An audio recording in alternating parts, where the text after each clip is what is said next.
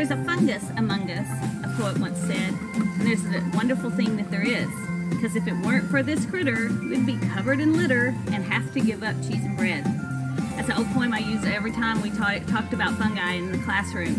And uh, so, this is Donna Patrick, Sunset Hill Tree Farm, and it, we're talking real farm, real fungi today. As I walk around the, um, there's a fungus among us, a poet once said, and there's a wonderful thing that there is. Because if it weren't for this critter, we'd be covered in litter and have to give up cheese and bread. That's an old poem I use every time we ta- talked about fungi in the classroom. And uh, so, this is Donna Patrick, Sunset Hill Tree Farm, and it, we're talking real farm, real fungi today. As I walk around the um, farm on a daily basis doing chores, I just I keep finding all these really cool mushrooms and fungi, and so I just like I've got to document all of this because I get so excited when I see them. So let's talk about the kingdom fungi. So you know, okay, how many kingdoms there are of organisms on this planet is constantly changing. Uh, you know, we went from three. Actually, there was two in the beginning. You know, uh, back with Linnaeus and everything, plants and animals. That was it. And then, and everything had to fit in there. And as we learn more and more, we realize that that's not how it works. So, fungi has their own kingdom. They're one of the major kingdoms, and they have specific characteristics. They are eukaryotic. That means they have a true nucleus, just like we do. They are all decomposers uh, in some way. Um, they are not photosynthetic, uh, photosynthetic, so you will, if they have a green tint to them, it's probably not because of chlorophyll, uh, but they don't carry out any type of photosynthesis. They are mostly multicellular, but the single-celled ones are the yeast, of course, and um, we use those for brewing and making wine and cheese and bread and things like that. So those are important. Uh, they're non-motile, and their cell walls are made out of chitin instead of cellulose, like um, plant cells are. So um, the ones that we're going to see most are going to be mushrooms. Um, and those are in the Basidiomycota or Basidiomycetes um, phylum. And so what we're going to see most is that. And when you see a mushroom, like you see it emerge from the ground, and we, I've got I've got some that are you're going to see, you know, some variation different days. Uh, but they're going to have a cap, and underneath that cap is going to be the um, reproduction which is the spores. So we have reproductive units under here that are spores, and um, they're found in gills of, of, mushrooms. So you'll have the gills under there. Uh, it looks like gills of a fish, except these are mushroom gills, and they're just separations, segmentations of the cap, and in inside of them are all the spores. Um, the ring that you see around the stipe here is where the mushroom was attached when it first emerged, and then it flowers out, so that leaves like a scar. Um, so that's what it is. It's the skirt or the ring. And then uh, the action happens underneath the ground. That's where the mycelium is. And, and they can potentially be reproductive units as well. But their job is to decompose where they live, decompose everything, break it down, and turn it into the nutrients that are needed. Because the whole point here is that we get nutrients, we grow, and we reproduce. I mean, that's, that's the whole point um, of all of this. And so mycelium spreads out. It's a mat of fibers that um, that are underneath the ground. Each one individual is called a hypha, and then they go out into the ground around them, and they um, decompose, break down the things that um, that they're living in, whatever it might be. And we'll, I'll show you several different media um, that where you can find them, and uh, they're going to break it down, and then they're going to feed the body, and the body then is producing um, the sexual units, which are the spores in this case. So let's go find some fungi.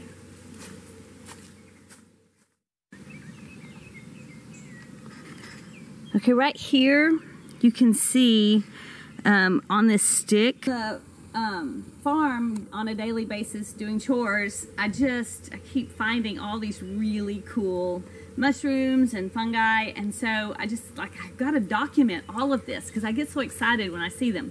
So let's talk about the kingdom fungi. So you know, okay, how many kingdoms there are of organisms on this planet is constantly changing. Uh, you know, we went from three. Actually, there was two in the beginning. You know, uh, back with Linnaeus and everything, plants and animals. That was it. And then, and everything had to fit in there. And as we learn more and more, we realize that that's not how it works. So, fungi has their own kingdom. They're one of the major kingdoms, and they have specific characteristics. They are eukaryotic, that means they have a true nucleus, just like we do. They are all decomposers uh, in some way. Um, they are not photosynthetic, uh, photosynthetic, so you will, if they have a green tint to them, it's probably not because of chlorophyll, uh, but they don't carry out any type of photosynthesis. They are mostly multicellular, but the single-celled ones are the yeast, of course, and um, we use those for brewing and making wine and cheese and bread and things like that, so those are important. Uh, they're non-motile, and their cell walls are made out of chitin instead of cellulose like um, plant cells are. So um, the ones that we're going to see most are going to be mushrooms. Um, and those are in the Basidiomycota or Basidiomycetes um, phylum. And so what we're going to see most is that. And when you see a mushroom, like you see it emerge from the ground, and we, I've got I've got some that are you're going to see, you know, some variation different days. Uh, but they're going to have a cap, and underneath that cap is going to be the um, reproduction, which is the spores. So we have reproductive units under here that are spores, and um, they're found in gills of, of mushrooms. So you'll have the gills under there uh, it looks like gills of a fish, except these are mushroom gills, and they're just separations, segmentations of the cap, and in inside of them are all the spores. Um, the ring that you see around the stipe here is where the mushroom was attached when it first emerged, and then it flowers out, so that leaves like a scar. Um, so that's what it is. It's the skirt or the ring and then uh, the action happens underneath the ground. That's where the mycelium is, and and they can potentially be reproductive units as well. But their job is to decompose where they live, decompose everything, break it down, and turn it into the nutrients that are needed. Because the whole point here is that we get nutrients, we grow, and we reproduce. I mean, that's that's the whole point um, of all of this. And so mycelium spreads out. It's a mat of fibers that um, that are underneath the ground each one individual is called a hypha. And then they go out into the ground around them and they um, decompose, break down the things that um, that they're living in, whatever it might be. And we'll, I'll show you several different media um, that where you can find them. And uh, they're going to break it down. And then they're going to feed the body. And the body then is producing um, the sexual units, which are the spores in this case. So let's go find some fungi um, on this stick. I don't know how well you can see it, um, but because I'm shadowing it with my with my the camera, but you can see these are called jelly fungi or jelly mushrooms, and they're very gelatinous. They're gelatinous. They're they're sticky looking. They're shiny. And uh, this one, I wet this one so you could kind of see. And then, um, and the cat's shading it now.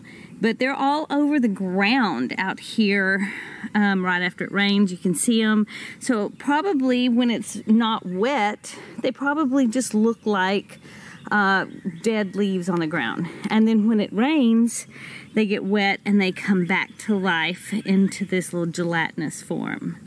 And those are really cool. Really weird looking this is one I collected. I thought it was really cool. Um, I don't know if this is like the turkey tails. I can't actually figure out what these are, but they're like big, they're like patties. And I actually pulled this one up, and there's a bigger one I'm going to show you out in um, out in the play area. But this one I thought was cool because the grass is growing through it. So we have grasses that are growing all the way through this mushroom and it looks like a turkey tail but turkey tails are on the trees. I'm gonna I will show you those. Um, but underneath you can see where the mycelium was uh, where it was in the ground. And you can see the roots of these grasses and things that have grown right through it. So very interesting interaction between plant and fungi. Okay, so as you can see, we live in a very wooded area. And of course, if you have a lot of woods and a lot of shade, a lot of dead limbs and leaves and such, you have you're going to have a lot of fungi. You're going to have a lot of decomposition going on. And we've had, um, not in the last week, but we had a lot of rain. Uh, one weekend we had like three and a half inches of rain. And so um, it the soil's wet and so it's perfect for growing fungi. And so here's one of those, like I had a while ago. It um, I had one that had the grasses growing through it. Here's a really large one.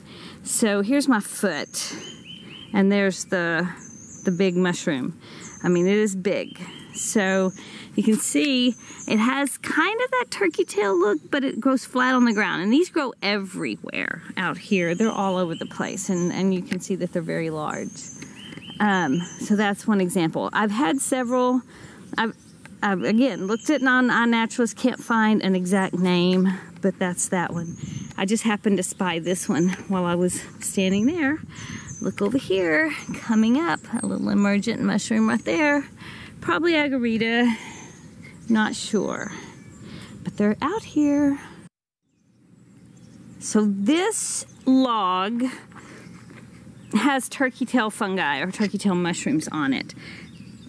Has a lot of them. It, right now they're all pretty small, but I've seen it at different times of the years of the year when it, it gets really big. They get really large.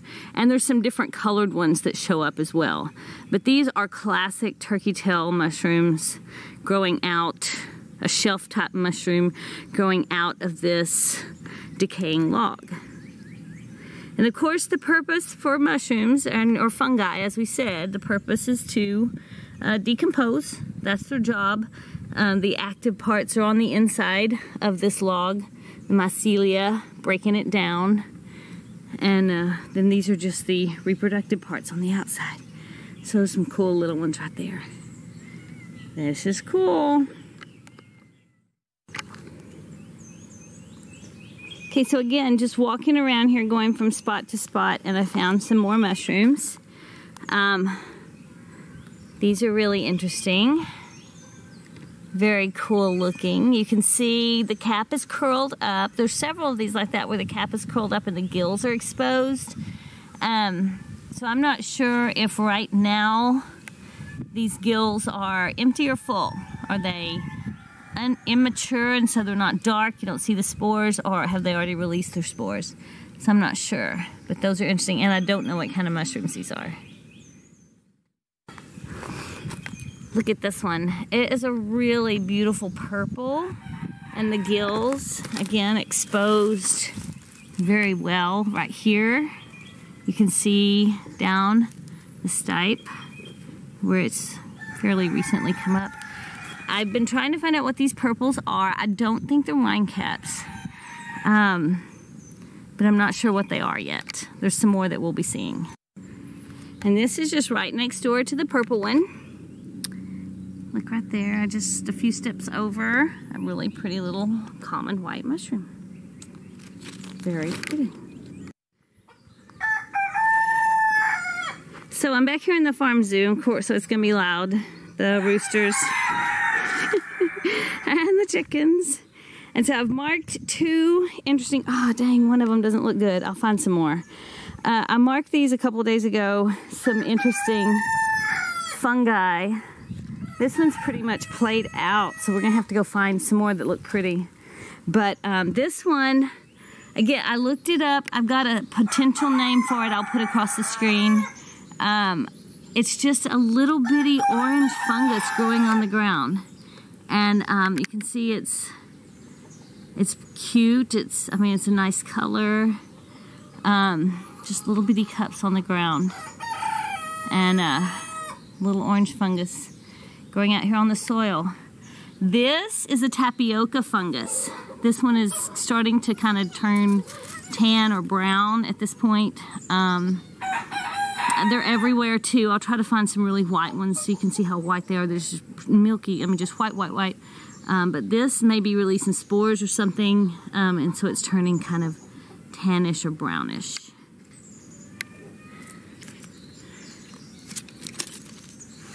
That's called a tapioca fungus. There's some more of it right there. Over here, when I was out here feeding this morning, there's some tapioca fungus that's nice and pretty and white. There you go. You can see how white that is. So it's called tapioca. There's some more of it over there. There's the bunnies. Say hey, bunnies. Hey, bunnies. Look at these bunnies. Hey, babies. Looky there. That's our Boston Terrier bunny. It's marked just like a Boston Terrier. It is hilarious. Um, okay, so over here while I was feeding this morning, I saw this other mushroom and I haven't had time to research it and find out its name yet, but there's one just emerging, barely coming out of the ground. So you can see that. There's that little cap coming out of the ground. And then here's one that's already up. Right there. Very interesting. It's brown um, with a little yellow on it. Um, looks like something may have been chewing on it over here. So, you know, oh, here's another one right by it. Look at that. There you go. Another little cute fungi. So when I find the name of them, I'll post them. And if I don't know what they are, I'll post that too. And right here beside it, my goodness, what a great fungi morning this is. These little red caps coming up. And I think these are a bolete. I've looked up several like that, but those are just coming out, pushing through the leaf litter as well. So back here in this really shaded area, uh, lots of leaf litter. We have lots of really cool fungi and really loud chickens. You can't see them really loud chickens. Hey! That's Lando Calrissian right there. He's the rooster in this pen. Hey, Lando! What up? Okay, so, hey. So, I started walking back here to get the eggs for the evening. And look at what I found. It's pushed the leaves back and there's actually two mushrooms down in there and they're pushing those leaves back because these leaves right here used to be on top of the ground and these as these mushrooms are coming up and pushing in they're moving those leaves out of the way so those are brand new they just popped up today that is so cool. Found that right on the trail. Watching the cats for a little while. They're crazy.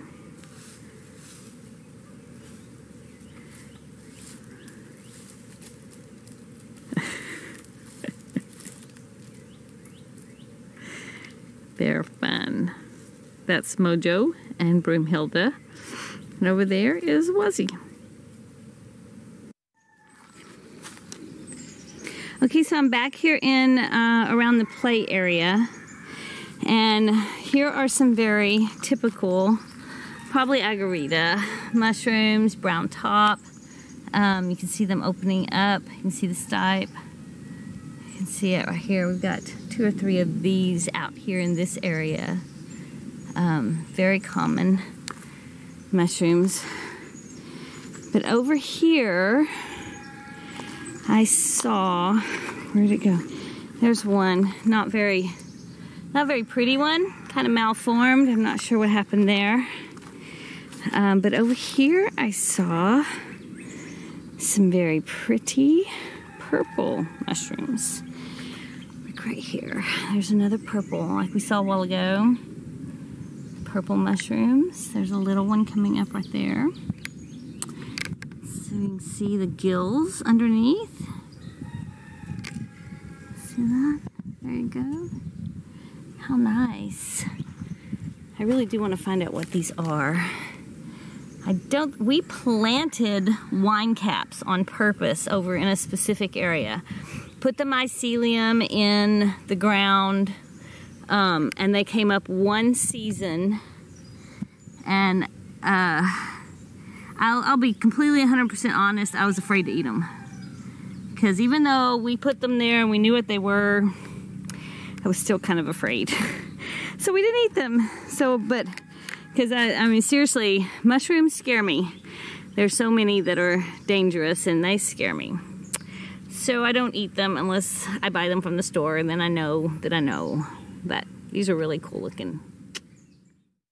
Okay, so we had a rain last night and I get up this morning and these crazy fungi are growing on this stump. What is it? I gotta try to find out. It looks like some jelly, probably jelly fungi of some kind. They're down here on the ground too. They're fairly disgusting, but also very, very cool.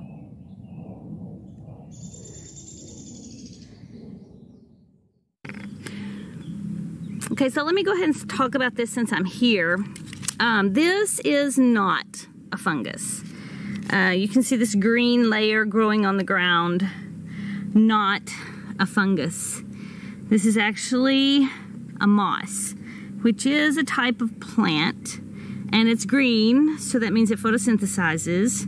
Now, these are not um, plants with roots and stems like a tree, so they never get large. They always stay very, very tiny because of their the way that they acquire water and nutrients is very modified, and so they stay tiny. But if you looked at these under a microscope, they'd look like teeny tiny little Christmas trees. And they're so cute. But this is a moss growing on the ground, not a fungus.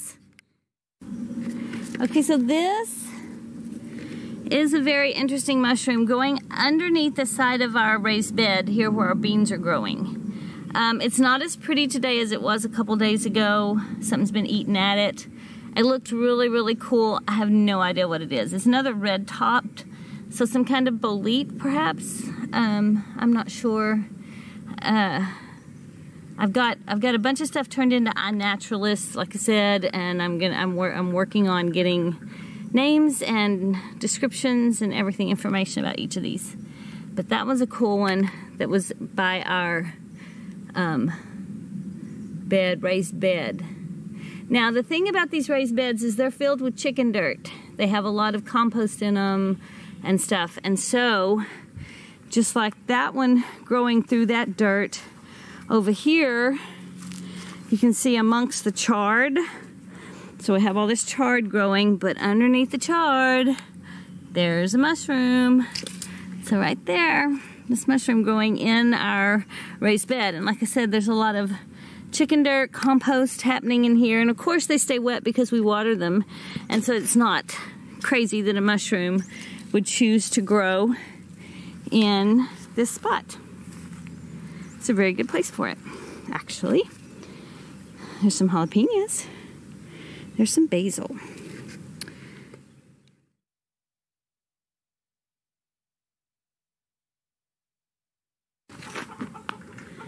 So back here to pick up eggs tonight and I found these lovelies. I have no idea what they are either, but I will find out. They are bright yellow and there's a bunch of littles coming in. Do you see those? All the littles coming in around them? That is incredible. They were not here this morning when I came to feed. So these pretty yellow mushrooms just popped up this afternoon.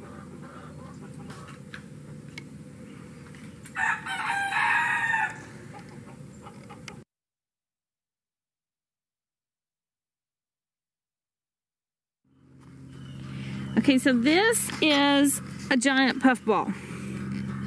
I don't know if you can see. Let me back it up so you can see. This is a stump out here um, in the cedar fields, and it has these giant puffballs on it. This is probably the biggest one, but there are several. So here's my hand, and here's the puffball. It is almost as long as my hand, if you can see like that. There you go. It's very large. Here's the smaller ones. And then there's ah, some more small ones on this side. And so these are giant puffballs and they're growing out of the stump. Now, commercial uh, mushroom farmers will use stumps and logs to grow shiitakes, maitakes, and some other kinds of edible mushrooms. And so, you know, mushrooms growing out of a stump, not a bad thing.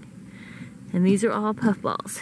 Over here, This one's about gone. I just see that saw this. This one's pretty much spent, but it was growing out of a cow patty, which you would want. I mean, that's they're gonna decompose that the cow patty, and that's a good thing. But right here, this stump, here's my foot, so you can get an idea of the size of what we're looking at, and those are all giant puffballs growing in the stump. That's really cool. Really, really cool. This one right here is another kind of puffball. It's called like a peel away puffball. And so this outer, to me it looks like a little sea anemone or something, but um, this outer covering will crack and will peel away and the puffball will be underneath it. Um, there's there's another smaller one right there. And here's one right. Oh, this one actually is not. That one didn't peel away. It just opened up. When it opens up like that, of course, the spores can be released. Let me see if I can mess with it. Let me get some better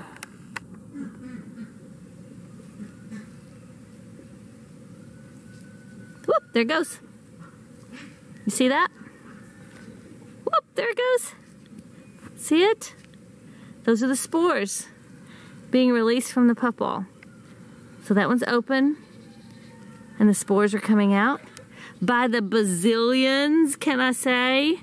And they'll lay around, they'll find a good place to be until it's wet, and then they'll grow more mushrooms. That's so cool. I don't know if my sister remembers, but when we were kids, I played with puffballs, and I would tell her that that was, it was uh, magic. They were magic. Those are really cool. We have a lot of puffballs out here. Yes. So here's this other one. This one looks like it's starting to open up too. And then there's the big one that we looked at and it may be about to open up too. Now some of these, this outside is cracked and fallen off, but on these it seems to be maintained, so I'm not sure what the difference is. But those are puffballs. That's cool. Kind of a upside down mushroom.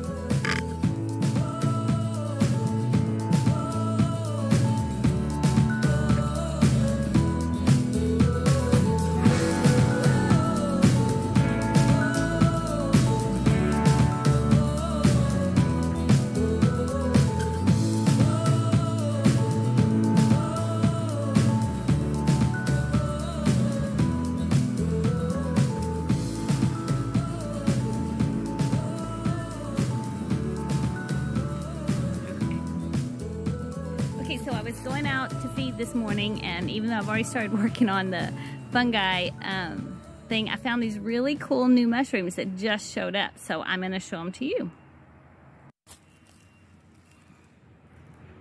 Look how cool those look. Those are little teeny tiny mushrooms growing around in a cluster on this log. Those are exciting. I love it when I find new stuff.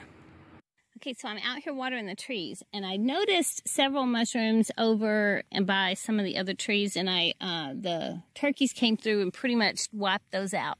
But the turkeys have moved on now, and so I found this little one peeking underneath this Christmas tree.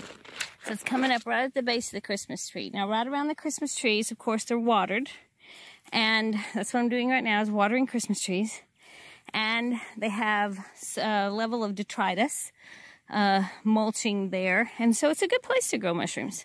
So we do have mushrooms growing around our little Christmas trees. Okay, so we've looked at all these different fungi and um, that are all over the farm. Another thing that I get really excited about that's not just a fungus, but it is an actual an interbreeding of two species that it's a symbiotic relationship where they work together, live together, and uh, create something. It's called lichen. Uh, we always said Alice algae and Freddie fungus took a lichen to each other. So it's a, an algae, which is a plant, which is photosynthetic, and a, a fungus, which is not a plant and not photosynthetic, and they come together and they help each other out. So what one can supply, the other needs, and they help each other so much. And so there's lichen all over the farm, and I, I get so excited when I find really cool lichen, so I collect it. So I'm walking around with sticks all the time. There's three major kinds of lichen. Um, there's the crustose, which is like these here, and they're just like just exactly that. They're like crusty.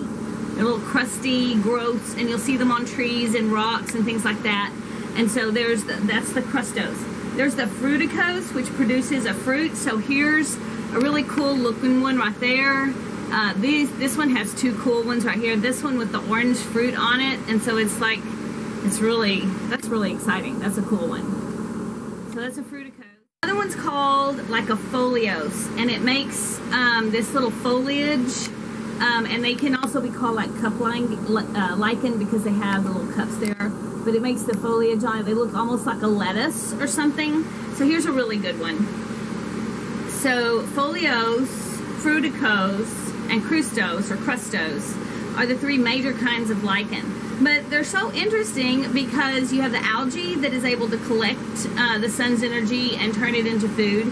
But you also have the fungus, which is um, going to be digging into or growing into the whatever the compound is they're living on. Usually it's a tree or a rock, and they are going to be absorbing nutrients from that source. Now, they are one of the major. They're one of the um, beginning species in um, in the breaking down of rocks. And so, rocks. Think about these things growing on rocks. They're creating um, space in the rock because they're go anywhere they can get in, they're going to be growing mycelium in there. They're going to be breaking down that rock. So they're chemical, it's called chemical weathering. And so it's going to be weathering the rock. And so they're one of the first ones in there when you start seeing um, rocks being broken down, you start seeing the, um, the soil being produced. They're one of those first ones. They're going to come in there in a place where there's no soil and create soil. And that's why you start seeing little plants growing up in cracks and rocks is because probably the lichen was there before them to build soil so that soil was available for a seed to germinate and grow a plant. And then as the plant grows, it continues to break the uh, rock apart and, and on and on and on and on. So that's how rocks become soil, and that's where it starts, and that's how it begins, and how they break down. So lichen play a big part in that. So that's really cool. They they excite me. All right, this has been fun. And uh, I'd love for you to come out to the farm and go on a, a fungi look. You know, go for a hunting fungi on the farm. That would be fun. But um, until then, until you get to make it out here, this is Donna Patrick, Sunset Hill Tree Farm. Real farm, real fun, uh, and real fungi.